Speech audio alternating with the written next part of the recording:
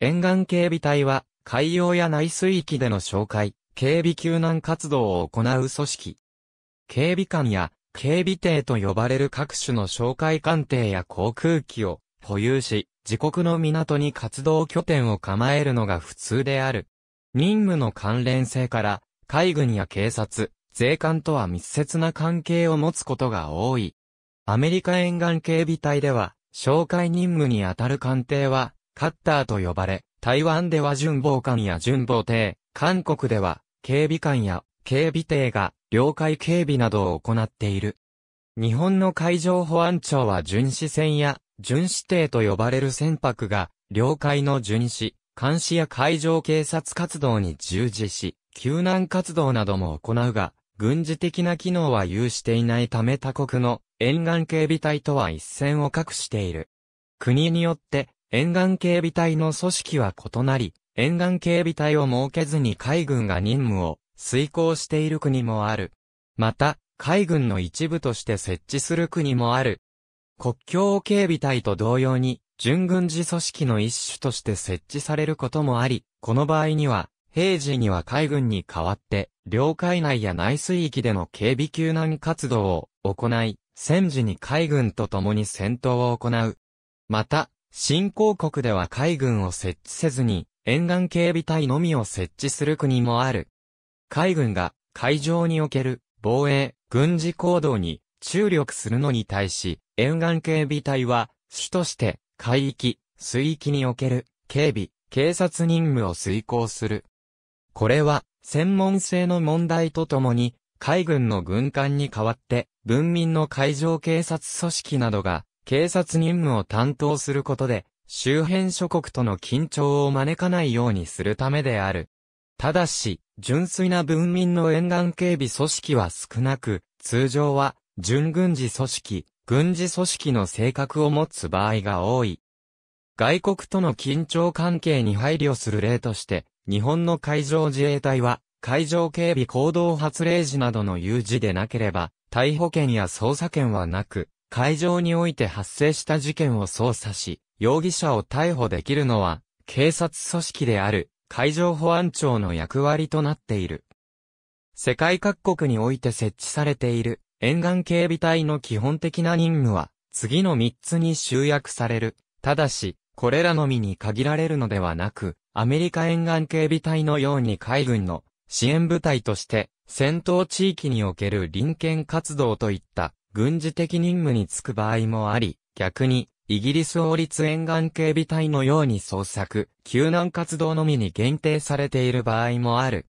なお、イギリス海軍は沿岸警備を行っており、民間船舶に対しても、日本の海上保安庁と同様に密輸船、密漁船等などの臨検も行う。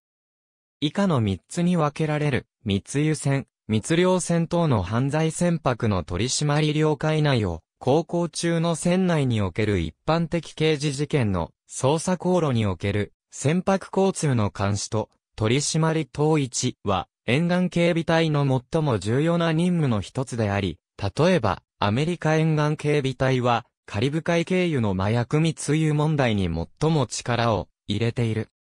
日本においても、麻薬、覚醒剤の密輸を水際で阻止する役割として、海上保安庁は重要であり、さらに最近は不審船問題や不法入国者を乗せた密輸船の取締り対策が重要になりつつある。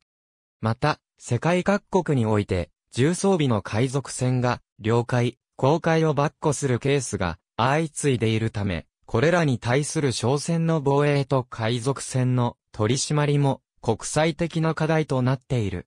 近年では海洋資源保護の必要性も高まっており、担当省庁と連携して密漁や廃棄物の不法投棄などの監視、摘発の任務も重要なものとなっている。1に比べ、3は地味であるが省くことのできない任務である。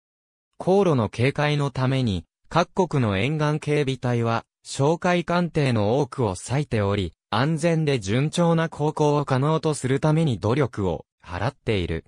領海を航行している船舶の海難事故に際して、捜索活動と適切な救助活動を行う。多くの沿岸警備隊は、この捜索活動のために長距離飛行可能な大型固定翼機を保有し、事故を起こした船からの緊急信号も含めて、事故の現場と規模の確認を行う。広い領海を持つ日本においては、海上保安庁のみでは、困難なため、航空自衛隊と海上自衛隊で設けられた救難区域を担当する航空自衛隊救難隊や海上自衛隊の救難部隊などが捜索救難活動に協力しており、陸上自衛隊は救難活動ではないが、東、シナ海の離島での第15ヘリコプター隊が医療支援活動として患者の緊急搬送に協力している。タンカーの事故においては、石油製品や化学薬品が海洋の広範囲にわたって流出し、深刻な海洋汚染をもたらす場合も多い。流出した石油製品等の回収、中和等も沿岸警備隊の重要な任務である。戦時に領海を警備することは、これすなわち軍事行動であり、交戦資格を有する。指揮系統を一本化するために戦時に海軍に編入されることも多い。領海内の水路警戒、測量、V 設置工事も多くの国において沿岸警備隊の任務となっている。日本においては戦前は沿岸警備隊を設置せず海軍が測量任務を遂行していたが、戦後は軍事的な測量を別として海図の作成、潮流の測定、海底地形の測定など海上交通に必要な調査は海上保安庁が行っている。また、カナダやアメリカなど一部もしくはすべての領海が流氷によって閉ざされる場合には、沿岸警備隊の保有する砕氷船が流氷を破壊して、冬季の航路を確保する。一部の国では、海洋調査の延長として、領海内における海洋や島嶼部の生態調査など、科学調査の支援として、科学者や機材の輸送を担当することもある。財政的な理由で海洋調査船を所有できない途上国だけでなく、コストカットのため稼働時間が少ない専用船を廃止し、必要時に沿岸警備隊の船を利用する先進国もある。アメリカ沿岸警備隊は南極観測船の運用など領海外における科学調査の支援も担当している。第二次世界大戦後、旧大日本帝国海軍の残余艦艇と人員を元に初期の海上保安庁が創設された。連合国軍による日本の非武装化政策により、当初の人員は1万名以内、船舶は125隻5万トン以下、武装も消火器のみに限られている。創設直後には総会活動も重要な任務の一つとされ、その一部は朝鮮戦争に出動しており、作業中の事故で1名が殉職している。1952年4月26日に将来的な分離独立までの臨時的措置として、海上保安庁内に、旧海軍軍人主体の海上警備隊が創設され、同年8月1日には、総会部隊も含めて、保安庁の警備隊となり、1954年7月1日の防衛庁設置に伴い海上自衛隊に改編された。この時、海上公安局へ再編される予定であった海上保安庁の本体部分は組織移行を免れそのまま、海上保安庁として存続することとなった。その後の海上保安庁は、運輸省の外局を経て、2001年の中央、省庁再編後には、国土交通省の外局となり、日本の領海及び、排他的経済水域上においての警察権を有する法執行機関となった。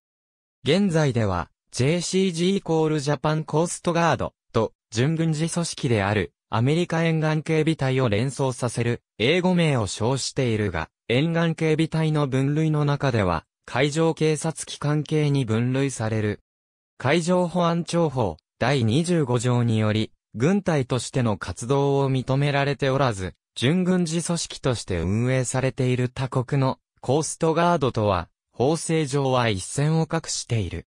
一方で自衛隊法80条により、有事の場合は、海保組織の全部、または一部を、防衛大臣の指揮下に置くことを認めているが、あくまでも、警察活動と解釈されており、軍事活動の規定は海上保安庁法にはない。海岸線の長さは世界第6位、領海と排他的経済水域の合計面積も世界第6位、さらに G7 の一角を担う世界第3位の経済大国であるなどという国上から組織の規模も大きく、2010年時点の辞任は約1万2000名、400隻を超える船艇と70機以上の航空機を保有している。諸外国との共同訓練も積極的に行っており、その任務の遂行能力は高く評価され、世界有数のコーストガードと評される。現在は、不審船問題などから高速で、重装備の巡視船の配備、海上自衛隊との様々な面での連携強化などが課題となっている。アメリカ沿岸警備隊は、国土安全保障省の傘下にある組織である。連邦の法執行機関であり、警備及び捜索救難等を任務としている。アメリカ軍の第5の軍であるが、戦時には海軍の指揮下に入ることがある。隊員は軍人として統一軍警報の適用を受け、海軍と同等の階級故障を使用している。第二次世界大戦やベトナム戦争はもちろん、合衆国が参戦したすべての戦争に派遣され、臨検活動、船団護衛等の任務を遂行した。保有する船舶には 76mm 砲や CIWS などを装備し、構造も高端性の高い軍艦構造となっている。有事には、対艦ミサイルランチャーを装備可能な艦艇もある。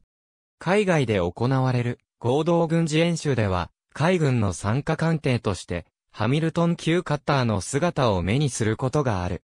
平時の船舶数こそ、日本の海上保安庁に劣るものの、長距離の海岸線を保有することから、航空機の整備に力を注いでおり、早期警戒機としての能力を有する C-130 や P-3 を装備して、麻薬密輸に対する警戒に当てている。このほか、運河や航行可能な河川、故障が多いため、こうした内水における救難ボートや測量ボート、V 設置船を数多く保有する。海岸、河川、湖水の護岸や港湾の整備に関しても沿岸警備隊が責任を持っており、専門の工事、管理部門を保有する。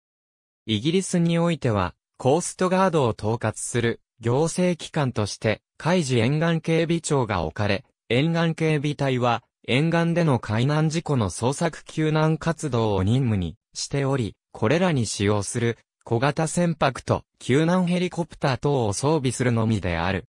また、必要な場合は、イギリス空軍も海難救助に参加しており、海事沿岸警備庁がこれらの調整を行っている。領海警備や海上の治安活動などは、イギリス海軍が大型哨戒艦を用いて沿岸警備を行っている。この他に、内務大臣直轄のイギリス国境部隊内に、税関監視定隊が存在しており、領海上での密輸などの監視に当たっている。韓国では、国土交通部のもとに、海洋警察庁が設置され沿岸警備に当たっている。本庁は、インチョン広域市に置かれ、富山、新川、側総、東海、大安、群山、木浦、太島、冷水、東平、北港、ウル山、チェジュ、ソギポの14カ所に海洋警察署が設置されている。韓国と日本は竹島領有問題を抱えており、日本漁船を拿捕することがある。そもそも韓国海洋警察が発足した際の主任務は竹島周辺の日本船舶の駆逐による実効支配の強化であった。李承晩ラインの宣言直後から韓国海軍や民間義勇組織である、独島義勇守備隊、海洋警察が、竹島周辺で300隻以上の日本漁船を銃撃、拿捕し、それにより4000人近い日本人漁師が韓国に拉致され、44人が死亡している。拉致された後日本へ帰国できた者でも、病気になったり拷問によって重傷を負った者がいた。1961年にはチェジュ島周辺の公海上で、韓国の警備艇が日本の漁船を銃撃、打破するという事件が複数発生している。例えば、1961年3月15日には、第二地栄丸が、同年3月20日には、第二秋田丸がそれぞれ韓国警備艇に追跡、攻撃、打破されている。また、これらの事件の際、日本の海上保安庁の巡視船や、水産庁の漁業取締船が、漁船からの緊急連絡を受けて現場に急行し、漁船を追撃する韓国警備艇に警告を行ったが、警備艇は巡視船と監視船に対し銃撃を繰り返し、漁船を打破して韓国へ連行している。韓国海洋警察の任務には、北朝鮮ゲリラの浸透阻止や海洋環境保全のための海洋汚染監視も含まれている。歴代町長は警察庁出身者が任用され、人事的には陸の警察と交流が深い。2014年4月16日に発生したセオル号沈没事故の救助失敗を理由に、ボククネ大統領により、海洋警察庁は解体され新たに国民安全署が設立されたが、政権交代で大統領に就任したムンジェインによって2017年に海洋警察庁体制に戻された。中華民国では2000年1月に行政院海岸巡防署が組織された。この組織は2004年には19,680名を要し、日本の海上保安庁に勝るとも劣らない規模を持つ。2018年、海洋委員会発足に伴い、海洋委員会の下部組織となり、名称も海巡署へと変更された。中国の海洋行政は、公安部が海上公安、国家海洋局が海洋資源、農業部が漁業管理、海関総署が税関業務の戦略を企画、立案し、国家海洋委員会が各機関の戦略を調整し、国家海洋局が公安部の指導を受けながら一元的に中国海警局の名称の下で航船や航空機を運用する体制が取られている。2013年3月に初代の中国海警局の局長兼国家海洋局副局長に公安部の次官を兼務する、毛博士が就任した。2013年7月に中国海警局の本格的な運用が開始された。ただし、船舶からの汚染物質流出への対応、水路業務などを担当する交通運輸部会事局は、独立して、航船の運用を行う。交通運輸部には捜索救助を専門とする救助だ。局も存在する。2013年3月までは、公安部変貌管理局が所管する、中国公安変貌会計部隊、国土資源部が所管する、中国海関総隊、農業部漁業局が、別々に航船や航空機の運用を行っていた。同年3月から7月にかけて全身的に組織の統合が行われた。トルコにおいては、内務省の所属機関である、トルコ沿岸警備隊が海上警察、遭難救助、海路保全などの任務に当たっている。これらの任務のため、本部のほか、地中海方面司令部、エーゲ海方面司令部、マルマラ海方面司令部、国海方面司令部、教育センター司令部、航空司令部が置かれている。準軍事組織ではあるが、陸海空の三軍及びジャンダルマと比較して、国家安全保障評議会に司令官が参加しないなど、格下の扱いを受ける。有事には、海軍の指揮下に入るものとされている。ただし、最も重武装の艦艇ですら機関砲程度の武装であり、大半は小型で非武装の艦艇である。また、紹介、救難任務のために固定翼機、ヘリコプターを保有しているがこれらも非武装である。日本、アメリカ、合衆国、カナダ、ロシア、韓国、中国、中華、民国、イギリス、フランス、イタリア、ノルウェー、スウェーデン、オランダ、インド、バングラデシュ、パキスタン、インドネシア、マレーシア、フィリピン、パナマ、シンガポール、ベトナム、タイトルコ、ドイツ、グレナダ、ギリシャ、スリランカ、トンガ、アルゼンチン、ハイチ、ニュージーランド、ポルトガル、スペイン、ブルガリア、フィンランド、ジョージア、欧州連合、国会図書館、リファレンス海上警察機関の領海警備活動、戦後日本の海上防衛力整備、石田京吾。防衛省防衛研究所 NHK 報道局、自衛隊報道班海上自衛隊は、こうして生まれた Y 文書が明かす創設の秘密 P256 から261中高新書。増田博士自衛隊の誕生日本の最軍備と、アメリカ P136NHK 報道局、自衛隊報道班海上自衛隊は、こうして生まれた、Y 文書が明かす、創設の秘密、P259 国会図書館、リファレンス海上警察機関の領海警備活動、自衛隊法第80条、E ガブ法令検索、総務省行政管理局、2020年1月12日閲覧。